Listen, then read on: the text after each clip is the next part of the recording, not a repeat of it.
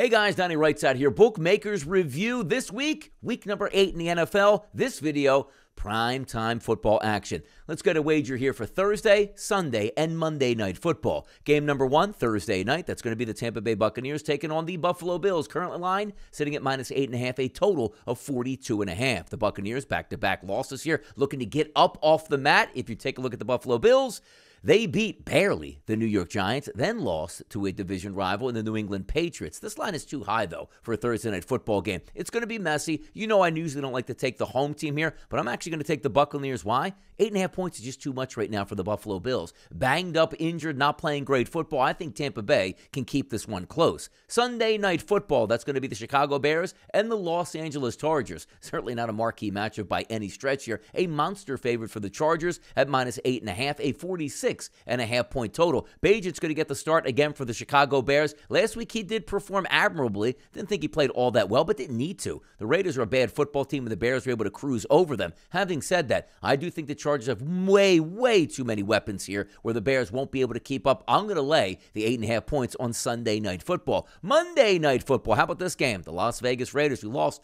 badly to the Chicago Bears, now going to take on the Detroit Lions, who lost badly to the Ravens. You do think it's going to be a bounce back performance here for that offense, at least for the Detroit Lions, and that's why I'm not going to take a side in this game. I'm going to take the over 45 and a half. If Jimmy Garoppolo has been injured, looks to come back this weekend, that's going to help that Raiders offense. Two shaky defenses here rolling into this one. I'm going to go with the total over 45 and a half. Three primetime games to take a look at. We're taking the points Thursday night, laying the points on Sunday night, and going over the total on Monday night football. Guys, make sure you check out everything we have to offer at Bookmakers Review, which does include our free to get in $10,000 NFL Pick'em contest. Weekly prizes are awarded. Get all the details at Bookmakers Review. I'm Donnie Rightside for Bookmakers Review, and as always, good luck on those wagers.